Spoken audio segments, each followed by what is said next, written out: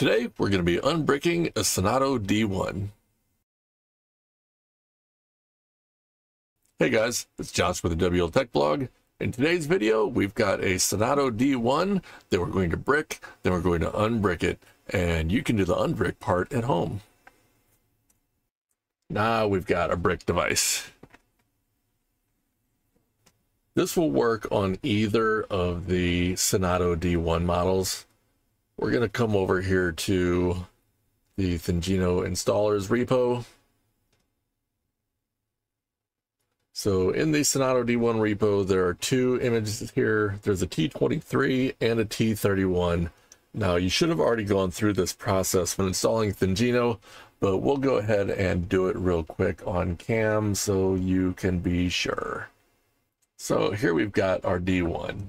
All right, so in order to determine which one you have, you just have to pop the top off of here and look inside. So this one doesn't require any tools for this step. All you do is you just stick your finger in right here at this edge, give a little pull.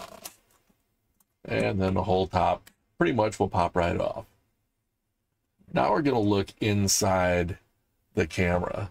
Just to make this a little bit easier for you guys, I'm going to go ahead and pop this out. But you won't have to do this yourself. You should be able to see it just fine. All right, and now we've got the whole board out. All right, you can see, if you look closely, this chip says Ingenic, and it says T31. Now, the T23, the board layout's exactly the same, and the only real difference that you care about is that you get the right firmware image for this. So we're going to go ahead and download that. Let's go back to our browser. So we go to the T31 in our case, you may have the T23. And once you get up there on the far right, there is a link to download the raw file. So we're going to go ahead and click that. And browser will download it and save. Now we're going to pop our SD card in. And that's recognized. We're going to come over to Raspberry Pi Imager.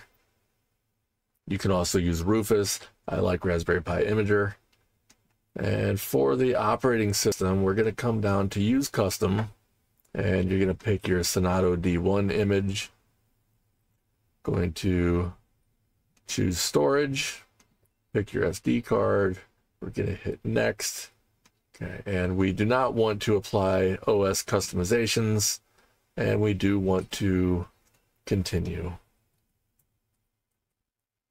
So this is a 128 megabyte image will only take a moment to write.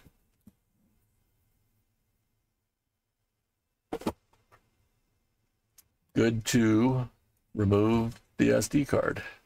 All right, now I'm going to pull a couple more wires on my cam just so you'll be able to see it better for the next steps. This is just for the camera. You won't need to do this on yours.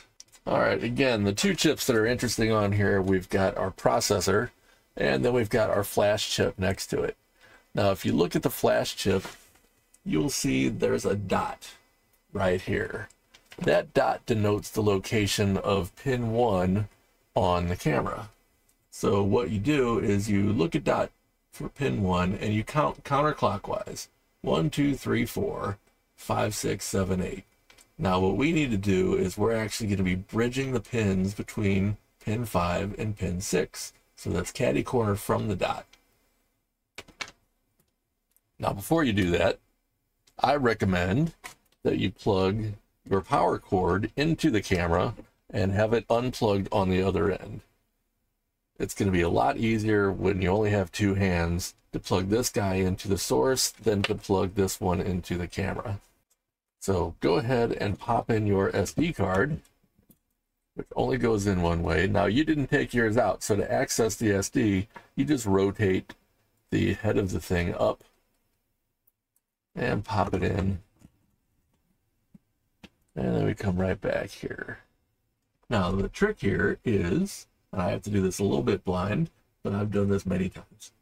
We're going to bridge these two pins. I'm going to use my Phillips screwdriver. You can use anything conductive. And we've got the SD card inserted. Got this side of the power plugged in. So we've got these pins bridged and we're going to plug in the power wire. We're going to wait about one and a half seconds and we're going to remove our short. So what we're doing is we're preventing the startup sequence from seeing this flash chip. When it's not able to see that, it'll go to its backup methods, which are looking for a uh, cloner software running and connected to the USB port, which this cam doesn't even have. And then it'll go to the SD card and look in a special spot. So here we go. I'm going to plug in the power cord uh, on three. I'll plug it in. One, two, three.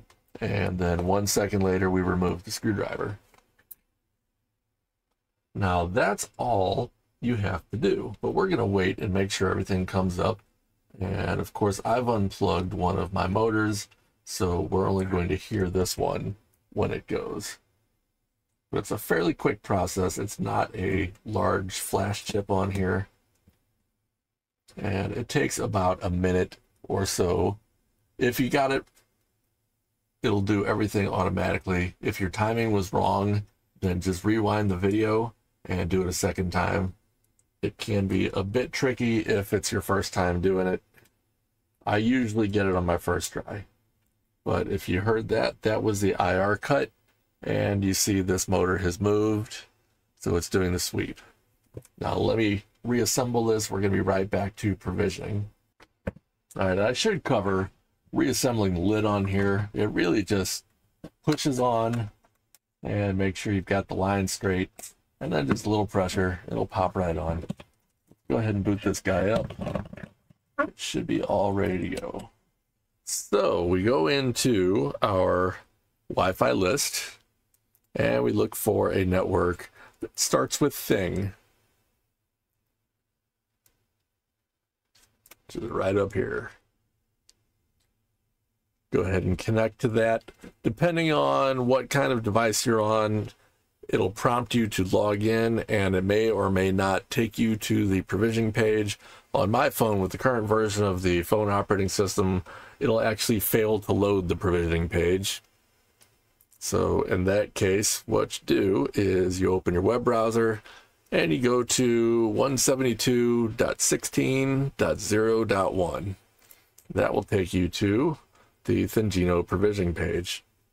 I'm going to go ahead and put in our root password and our Wi-Fi credentials. Again, make sure on this camera you're giving it credentials for a 2.4 gigahertz Wi-Fi network. And remember the SSID and password are both case sensitive.